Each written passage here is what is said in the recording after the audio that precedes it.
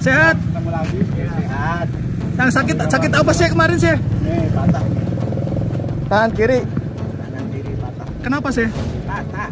Dibilang Pimpinan Ponpes Al Zaitun, Panji Gumilang mengklaim pergelangan tangan kirinya patah. Alasan itu sebelumnya juga disampaikan kuasa hukum Panji Gumilang soal ketidakhadiran kliennya dalam pemeriksaan kasus dugaan penistaan agama kemarin di Bareskrim Polri. Hari ini, Panji Gumilang memperlihatkan pergelangan tangan kiri yang patah itu ke awak media ketika meninjau lokasi demo Al Zaitun Jilid 4 yang rencananya akan digelar hari ini, Sabtu, 29 Juli 2023. Panji Gumilang mengaku pergelangan tangan.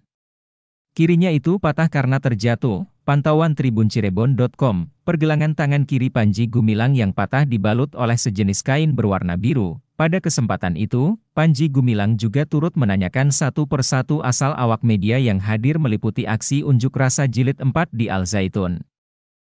Setelah itu, Panji Gumilang dikawal pengikutnya kembali masuk ke dalam area Ponpes. Sebelumnya, pada Kamis, 27 Juli 2023, Kubu Panji Gumilang mengkonfirmasi ketidakhadiran dalam panggilan pemeriksaan Bareskrim Polri dengan alasan sakit. Hal tersebut diinformasikan oleh pihak kuasa hukum Panji Gumilang. Bareskrim Polri pun menjadwalkan pemeriksaan Panji diundur pada Kamis, 3 Agustus 2023 pekan depan. Jadwal itu sesuai dengan permintaan kuasa hukum Panji Gumilang.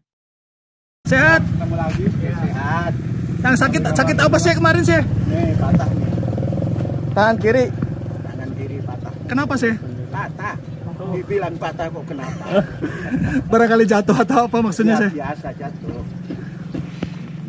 Ini ada dari TV mana? Semua ada sih. Metro. Oh, ada pagi. Metro.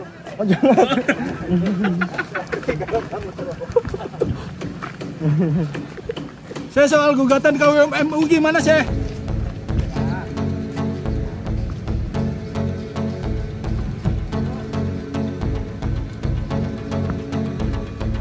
Terima kasih sudah nonton. Jangan lupa like, subscribe, dan share ya.